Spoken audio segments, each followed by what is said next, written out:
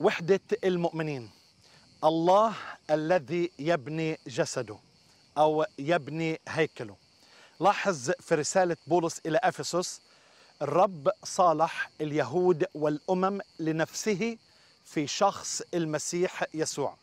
مسؤوليتنا أن نحرس أن نحافظ أن ندافع عن هذه الوحدة.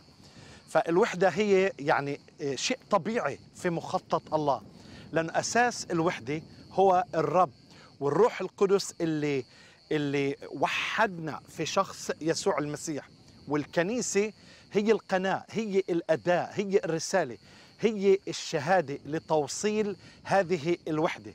يعني مش شيء بنتعلمه لكن شيء بنطبقه على حياتنا.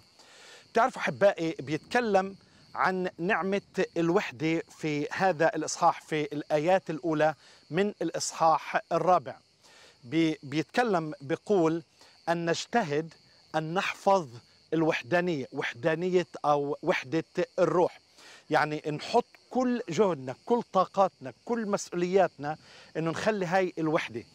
اليوم الناس اللي بتنادي في الانقسام والنزاع وبيختلفوا على أي سبب بينقسموا من كنيسة لكنيسة.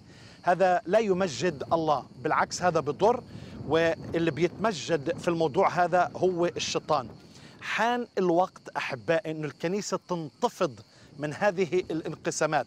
على فكرة الرب يسوع رح يرجع لكنيسة منتصرة وكنيسة متحدة لكي لكي يحضرها لنفسه. كنيسة مجيدة، كنيسة ممجدة، كنيسة منتصرة، كنيسة لا غضن ولا دنس، مقدسة من جوا ومن برا، كنيسة بتعكس المسيح على الأرض. هذه هي نعمة الوحدة.